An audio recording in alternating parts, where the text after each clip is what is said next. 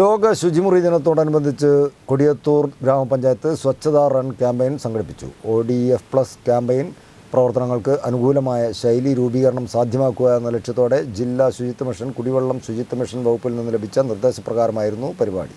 Band മേളത്തിന് അകമ്പടിയോടെ rally പ്രതിജ്ഞ എന്നിവ പരിപാടിയുടെ ഭാഗമായി നടന്നു. ഗ്രാമപഞ്ചായത്ത് പ്രസിഡന്റ് വി. ഷംലുലത്ത് ചടങ്ങ് ഉദ്ഘാടനം ചെയ്തു. സ്റ്റാൻഡിംഗ് കമ്മിറ്റി അധ്യക്ഷന്മാരായ ദിവ്യ ഷിബു ആയിഷ ചാലപ്പുറത്ത് പഞ്ചായത്ത് അംഗങ്ങളായ Karimpazhankal T K Abubakar K G Seenath Mariyamkutty Hassan ശുചിത്വ മിഷൻ കോർഡിനേറ്റർ വിജിഷ തുടങ്ങിയവർ സംബന്ധിച്ചു. Scout and guides Haritha Karmasena എന്നിവരുടെ നേതൃത്വത്തിൽ നടന്ന റാലിക്ക് വിഷ്ണു അജ്നാസ് തുടങ്ങിയവർ നേതൃത്വം നൽകി.